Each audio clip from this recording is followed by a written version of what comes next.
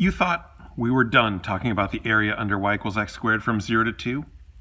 But we're not. We're going to look at it at least four more times. This area is so interesting because it's so fundamental. You know, if you understand one simple case of something very deeply, then you can extend that understanding to lots of different cases. All right, so here's what we're going to do. We're going to estimate that sum a, a lot of different ways, but every time using just one rectangle. One rectangle. Um, we're going to use a left-hand sum, then a right-hand sum, then a midpoint sum, and then something I personally invented, the magic sum, the magic point sum. All right, and this is actually going to be very useful to us. So um, you can do one, two, and three on your own, and then come back if you're not sure what I mean about number four. All right, go do number one, two, three, and come back. Okay, you're back now. Now, all right, when we do the left-hand sum, that means we're just going to have a rectangle that touches on the left and it's just going to be zero. When we do the right-hand sum, we're going to have a rectangle that touches on the right, and so I only have, you know, one rectangle, R1, R1, or we could call it A1 or whatever, all right? And uh, that area is clearly 8, all right?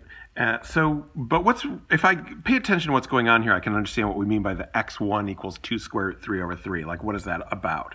So, we usually, when I lay out these sums, we're going to have x1, x2, x3. That's our x sub i's, right?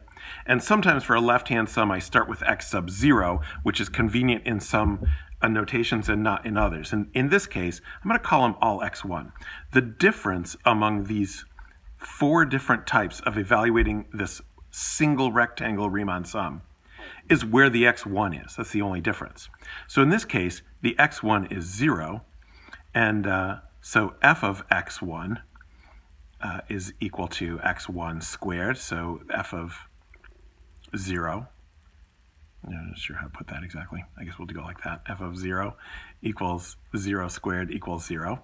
So that means that r1 equals, um, and what I want to keep coming back to is f of x sub i, which in this case is just x sub 1, delta x. Right?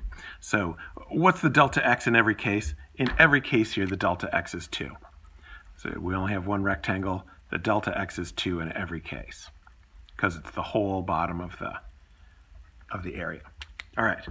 So this is, you know, and I've, obviously this rectangle is zero, but look at where the parts come from. Since f of x1 is zero and the delta x is two, that means it's zero. All right, so that is our left-hand sum estimate.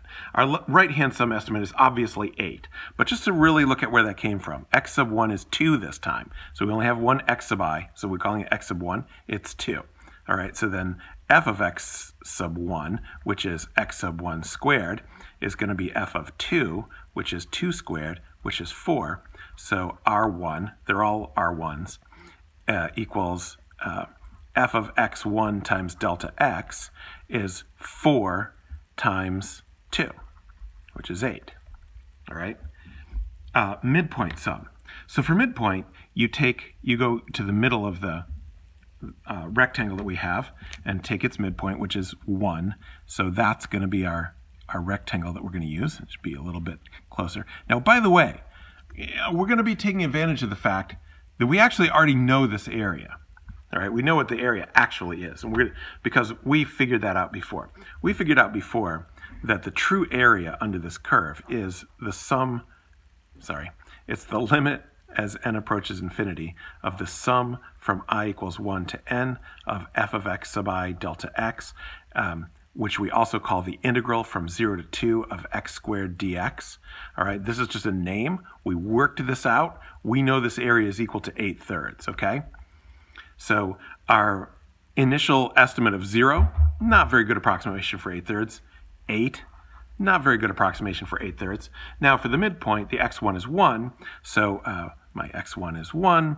Uh, so my f of x1 being x1 squared, f1 is 1 squared, which is 1.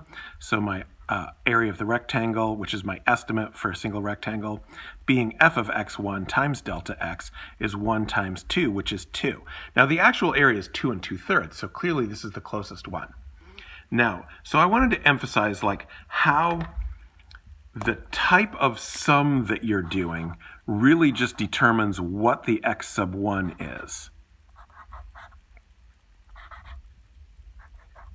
So in this made up magic point sum, I just picked the point x sub 1 equals 2 square root 3 over 3. So if you haven't figured this one out yet, use this same pattern, figure out what this area is now, and come back when you've got it. And you're back. All right, so our f of x1 is still x1 squared. So f of 1, oh, sorry, it's not f of 1. It's, uh, we have to do f of 2 square root 3 over 3, which is 2 square root 3 over 3 squared, which is equal to 4 times 3 over 9. 4 times 3 over 9, which is um, 4 thirds, right? 4 thirds. Okay. Now, R1 is equal to f of x1 times delta x, which is our 4 thirds, times our delta x, which is always 2, and that's 8 thirds. How close did we get to the actual area?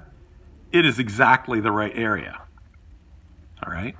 Now look, using one rectangle, you don't expect your estimate to be very good. We want to use a thousand rectangles. We're just using one. This one got fairly close, but this one is exact. So what we're going to talk about next is how that works. So, you know, we'll go to the point 2 square root 3 over 3, like where is that? It's 2 times 1.0, it's 1-ish, 1.7. It's a little bit more than 1, I guess. So here's 1, here's uh, 2 root 3 over 3. And we make that rectangle.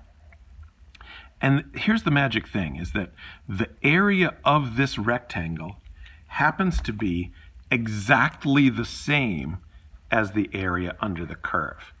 Now, what we're going to start taking advantage of is that there is always a magic point where you could use one rectangle to get the entire area. So why don't we just do that? Because you don't know where the magic point is. How did I know to use 2 square root 3 over 3? I started with the fact that I knew the area was 8 thirds and I back solved it to get that the x sub i had to be 2 square root 3 over 3.